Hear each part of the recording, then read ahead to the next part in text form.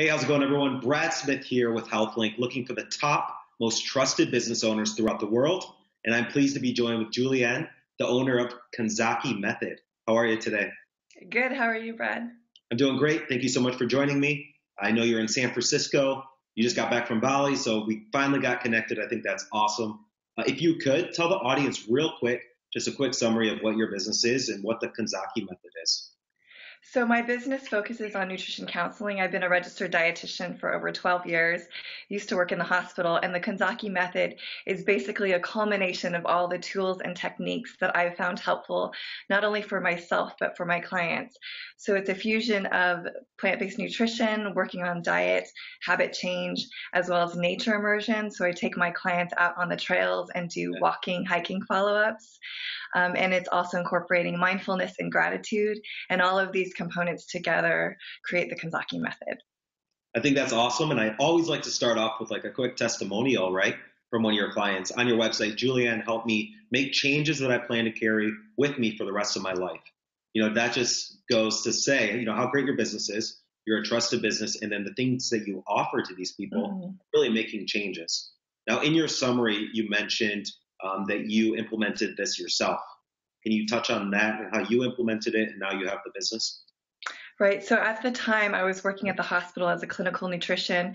I went through um, a lot of personal things, and I realized that you can have the nutrition and you can be eating well because I was eating well since I am a dietitian. But I realized that getting out into nature um, and seeing things and being in awe and wonder that actually helped um, with my depression and what I was going through. So just getting fresh air and walking was almost like a moving meditation. And at that time, then I started gratitude because you can't be anxious and fearful as well as uh, grateful. So getting myself into that flow state of gratitude was very important.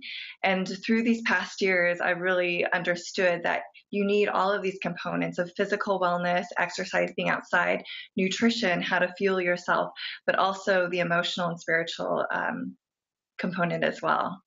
Yeah, and I think that's health, huge yeah, true health comes from all of these. You can eat well, but if you're really stressed out and you don't know how to manage these other areas, um, that's not a full picture of wellness. Right. So you're saying I can't be stressed out and just work out and think everything's going to be fine then? Exactly. That's just what you're not reaching your full potential. So my goal with the Kanzaki method was to not only address the nutrition, but also these other areas of health. Um, and it's such a joy to see my clients come to me in those first weeks where they're just so unhappy and rock bottom and getting them through the other eight weeks to the other side where they have the tools and techniques of how to manage their stress, how to manage um, the different things that come up with their eating, with their family and friends and yeah. know and how to address it. Yeah. I think you're touching on like something perfect because a lot of people like to stay healthy, like they like to work out, but they let stress take over and different obstacles, and then maybe they don't see the results that they were looking for. Right. It's kind of like what Derek Sivers said. He said, if knowledge is king, we would all be millionaires with six pack abs. And when I was working in the hospital, there was this very big disconnect between giving the patient, here's the diet materials of what you should eat, knowing they would be discharged and not, and knowing that they wouldn't know what to do with it. So a lot of people with all these diet books, I mean, you go to Barnes and Nobles, you see shelves and shelves of diet books. So people have the information, but they don't have the accountability or someone to hold their hand. So with my clients, I look at them as like a blank canvas because everyone is so different with how they're motivated intrinsically, um, if they do well with negative or positive reinforcements. So my job is kind of like looking at them as a puzzle and figuring that out and understanding how to best keep them accountable, how to best support them so that they know exactly what to do. And and it's through the basically habit change and holding yeah. their hand.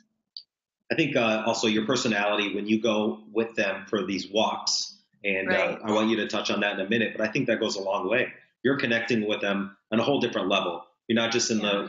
the uh, gym lifting weights with them, or mm-hmm. you're getting out there, you're walking, you're staying active with them. Tell yeah. me why, maybe real quick, why you decided to go for these um, hiking walks with them, and then what the benefits are. Sure. So basically, it's uh, maybe selfish because I love being in nature. Um, I'm an athlete, so my happy place is on the trails near the ocean. And luckily, in the San Francisco Bay Area, you have a mixture of both. Yeah. Um, and research has shown that when you're out in nature, there's something called phytoncides, which the trees and the leaves emit, and they actually help our immune systems. So it's a physiological benefit as well as psychological. Because I know when you're out in nature, probably you see these new things. You're you have a sense of awe and wonder, which you don't get when you're in um, an office space um, across the not. table. It's like, how are you eating? So when I'm out on nature on these trails with my clients, we're walking side by side. It's it feels very like uh, like a like we're comrades and we're doing this together. Um, and I show them these beautiful places, and there's so many metaphors in nature. Um, you'll have these fallen redwood trees um, with these shoots coming out. So, in a sense, it's like new life can come from these things that you think were once dead. And like even when you're going through different difficult things there's always these opportunities for new growth. So it's just seeing things in nature where you can put these pieces together. And basically i'm getting them into a flow state. If you've studied Steven Kotler and on his flow state um, when you're walking, this low grade physical activity actually gets your brain to make lateral connections. So when they're talking and we're walking, things will come out about, oh, actually, yeah, actually, Julianne, I'm not sleeping very well, and that's really making me crave certain things. And yeah, maybe my job. So it's like all of these other answers come in. It's really a lot for me. It's a lot more information on how to help them versus if we're sitting in a stagnant room and they're like, well, I didn't do so well on this thing, or this is working well so much more information comes when we're walking and they're in a sense of awe. Plus, they get their workout in, and at the end, they feel rejuvenated and refreshed. Um, research has shown that being out in nature, there's this thing called forest bathing, um, which they have in Japan, but it's being in that sense of surrounded by nature, feeling grounded. We're so used to our screens and screen time. So it's getting out into nature yeah, it's getting out into nature. Um, it actually lowers blood pressure. It helps um, lower cortisol levels, which we know is the stress hormone. Yeah. So, in terms of actual physical health, it increases immunity, all these other benefits. So, for me, it's fun because it's a fusion of everything I love like helping yeah. someone with their nutrition, getting my workout in, getting their workout, workout in, and being in a sense of on wonder. I think that's so cool. And you're able to be outside all day also, you know, with yeah. them so before we get into the business side, you know, we're all excited to learn a little bit more about that also. But what about a testimonial that really sticks out to you? You have a, quite a bit here on your website, and I'm sure you have some on your Facebook page. But what's mm-hmm. one that sticks out in your head that motivates you to keep helping people? Um, it's one from a college student. Um, her name's Jacqueline, and she basically came to me because she's like, "I want to lose weight. I'm not, um, I'm not feeling my best." And through the different components, so I have this thing that I also do with my clients, which is three small wins.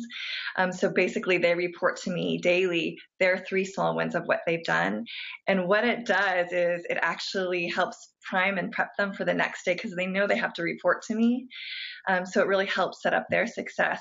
But what I found through working with her is we were creating um, just long term habit change. And because she changed her eating and she changed the way her body felt and her, and her energy levels, her friends started noticing and she became a catalyst of change for her own friend group in college. So now they have these dinners where she's cooking healthy, they're learning. And in the beginning, she's like, oh, I don't want to be the outlier, like at the restaurant, the person who's trying to order healthy.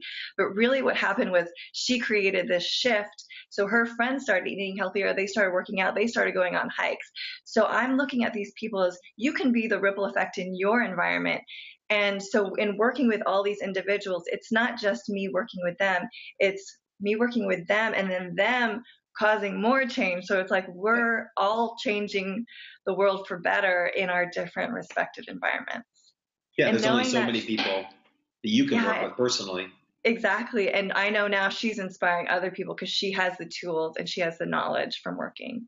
So it's um, each of us has our own our own gifts and our own talents. And that's the fourth part of the Kanzaki method, which when they're eating well, when they're moving well, when they're mindful and grateful, what I'm finding is they tap into who they are. They're, we each have this unique gift. And that last part is service and contribution. So once they're, I look at it as kind of like an onion unfolding. And just when you start eating well and you feel good about yourself, you're like, oh, actually, I love to paint or I love to play music. I forgot about that. Like all these things you forget about when you don't feel good. Um, and that last component is how can you use the gift that you have to give back to the world? I think that's, so that's awesome. The, that's the whole method. It's so fun. Thank you for sharing sharing that. I think that's great.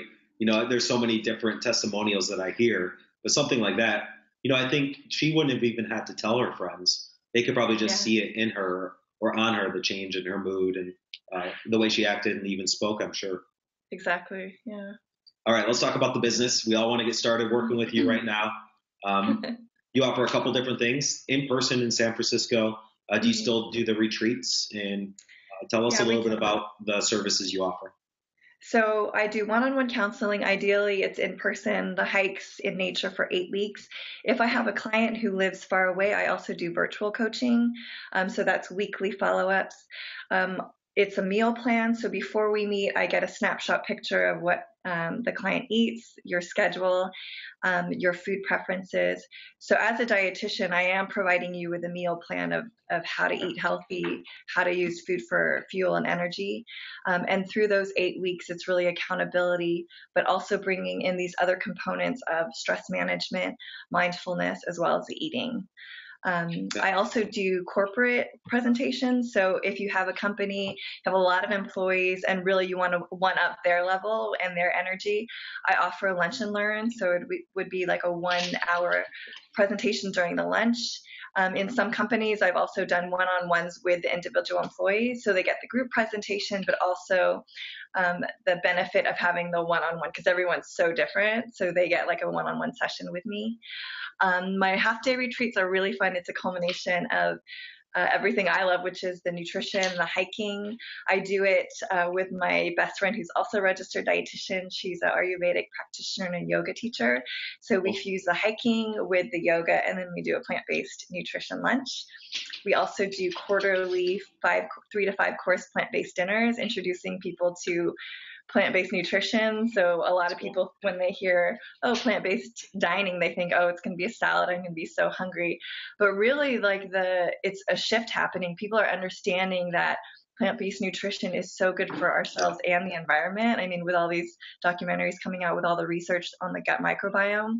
So oh, with yeah. these Those dinners, yeah, with these dinners, it's like eight to 10, um, and we curate them and we talk about nutrition, but really they're able to experience and taste how amazing plant based eating is. So, introducing them to cashew cheese instead of dairy, regular teas, and then they have the the tools to to know what to eat afterwards too. So those are quarterly, and those are really fun. That's a lot of great services. What about just real quick? I'm at someone's in San Francisco. Can they do the hike and work with you at their lunchtime or something? Absolutely. So, um, depending on their schedule, um, I will curate basically on their fitness level if they want to see oceans or they want to see redwoods. If they want climbing, I know all the trails in the cool. in, in, the Bay Area. So um, I have some clients who are in their 70s. I have some who are in their teens. So depending on what their fitness level is and what they want, how long they want, um, everything is curated to what my client needs and, and wants. Cool. One more testimonial a brilliant creative instructor who lives and loves her calling. So we can tell you're passionate about it. And we are trying to find the most trusted business owners to refer people to. So anybody watching, we want to encourage you to reach out to Julianne, reach out to her business, and yeah. tell us where they can reach out to you and start following you. You can reach out to me directly on my website, which is uh, www.juliannekanzaki.com. Um, Instagram, it's at Julianne Kanzaki. You can message me there. Um, that's my favorite platform because it's all the you'll see the the places that I can potentially take you to. I'm looking um, at it right now. yeah, it's yep, fun. Cool. Awesome. So you're not going to Bali for these for these walks, huh? I wish. No, actually, um, I'm pro- I'm gonna do a retreat in Bali in the in maybe potentially next year. Oh, cool. I mean, so, San Francisco is just as nice. So. Yeah, you'll get a mixture. Both If you want the destination retreats. Uh, that might be happening soon. Well, that sounds awesome. Well, thank you so much for joining me. I want to encourage everyone watching reach out to Julianne, and her business, and uh, we really look forward to seeing all the great things you're doing and seeing more testimonials from you. Thank you so much.